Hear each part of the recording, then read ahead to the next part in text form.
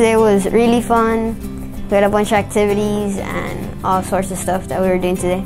This has helped me cooperate more and become more of a focus in math. Today I really enjoyed learning about equations. I feel a lot more confident for the STAAR test. I feel more prepared. Uh, today was fun and helped me communicate with my friends. This camp has helped me be more confident. My experience today was like really good. It helped me get quicker in math and it helped me focus a lot on the equations. Um, I feel like I got to explore different careers so I could be prepared so when I grow up I would know and to have like a preview of what it's like.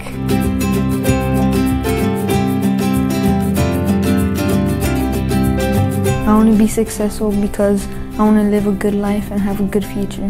And I know if I'll go to college, I'll accomplish my dreams. I want to be successful so I can have a good living and have a good life. I want to be successful because I want to help my little sister go into college. I want to guide her in the right direction. I will be successful because I want to go to college and find the right career for me.